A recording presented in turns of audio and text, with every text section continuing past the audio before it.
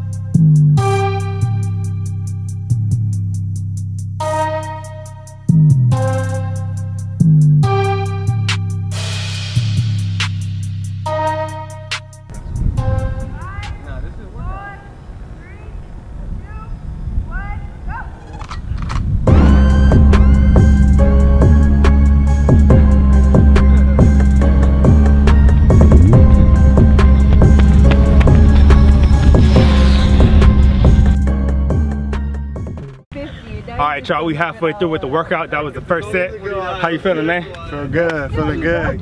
Excited for the second set. I'm feeling all right. That truly shows just how far out of track shape I am. But what's your PR, bro? 151 low.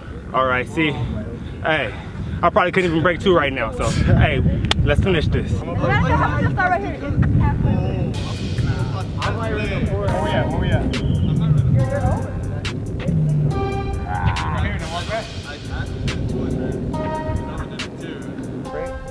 he's not really our sprint coach, but he used to be like at deck in uh, Minnesota State. And now he like our weight training and he helped with like the blocks and shit. But he had us do like 12, 12 like 20s with the sleds and blocks. And that shit low key fucked me up. Because quad is like the most dominant with like getting out of blocks and shit, so, and sleds. This hurts so bad. It's like my hamstring, but it's like. You hurt every year. I don't know, bro. I really think it's from like overworking shit. I heard that. Your biomechanics probably aren't right. Jordan told me that. It's not that She probably didn't work for me. no, but it ain't that hard. Well, I don't go on the interval days. So some of the shit. You don't go on interval days. At this point, y'all, I'm just happy I made it through. They let you do that.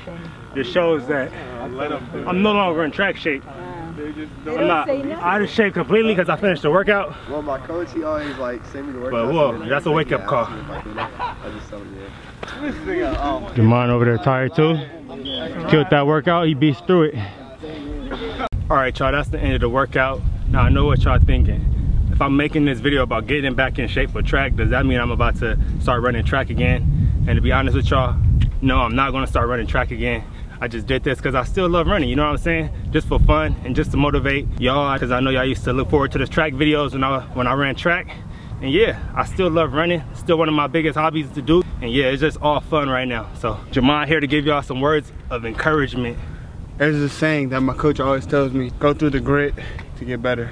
Bro, y'all, I remember when he first came out here, I was ending my uh, my season at West LA. He was just a newbie, man. And he wasn't the fastest guy out here, man. And I was pretty fast at the time, you know what I'm saying? And man, he just came from where he was at from not being one of the fastest guys. So man, this dude is a is just a beast right now, man. And you third, gotta respect third, that. Third in the nation. For real, man. Division two, 800. Grind and shine. That's the update for y'all. See y'all in my next video. Peace.